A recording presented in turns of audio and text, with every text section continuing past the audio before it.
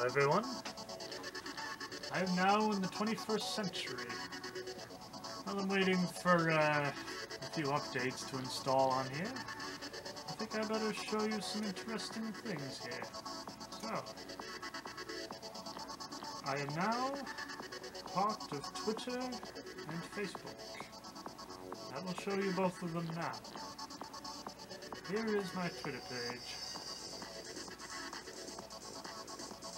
Take a little bit to load. There we are.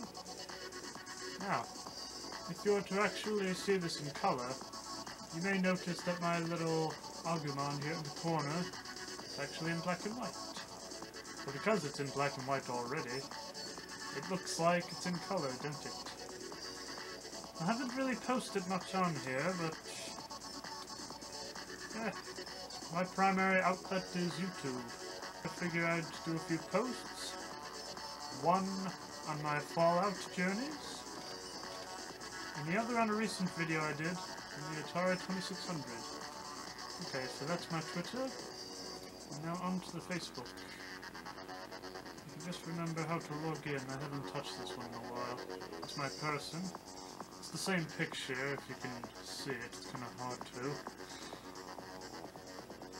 But in addition to my person, I made a specific page for my channel. There we go, it's starting to load now. Hmm. Starting to notice I have two little things in the globe here. Not really sure what that means. I use YouTube a lot, so I would assume it has something to do with that. There's my little picture. There's my site. Uploaded once again my little video on the Fallout Adventures.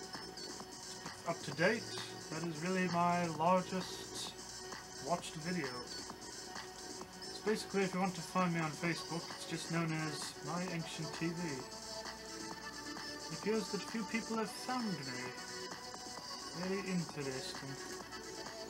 Now, if you want to follow me on Twitter, or whatever they call it, I would guess following, it would be the same name as my YouTube channel, John Burnessa. I guess that's just about it.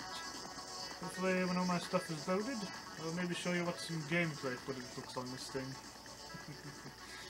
so long for now.